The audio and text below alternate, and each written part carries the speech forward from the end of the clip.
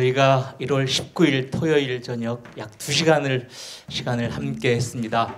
아, 미세먼지 날리는 어, 서울이었지만 오늘 이곳은 아마 한일 문화 교류가 따뜻하게 이어지는 어, 고국 나두리가 훨씬 더 의미가 있는 여정이 아니었나 싶습니다.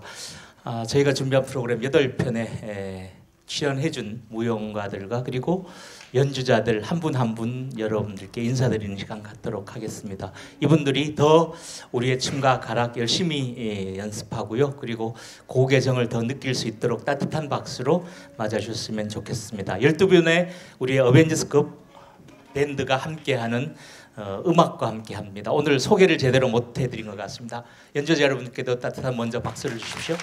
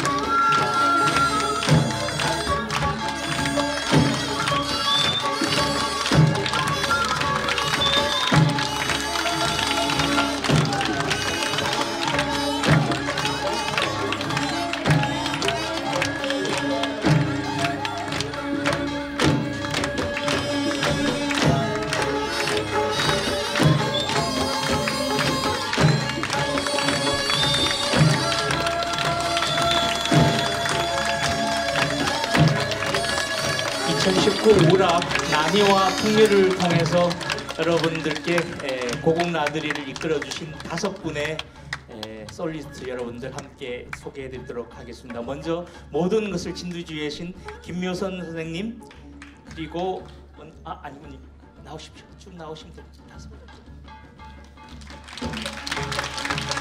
원경인 선생님 가야금 산조, 김효옥 선생님의 태평무 그리고 이능자 선생님의 입춤, 안성민 씨의 판소리, 수군과 다섯 분이 차례로 인사를 올리겠습니다.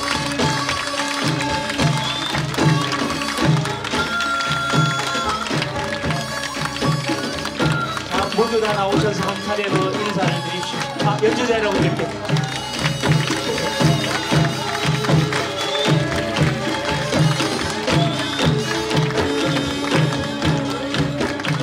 총 일본 관서지회의 고국 나들이 공연 함께 해주신 여러분들 대단히 감사합니다.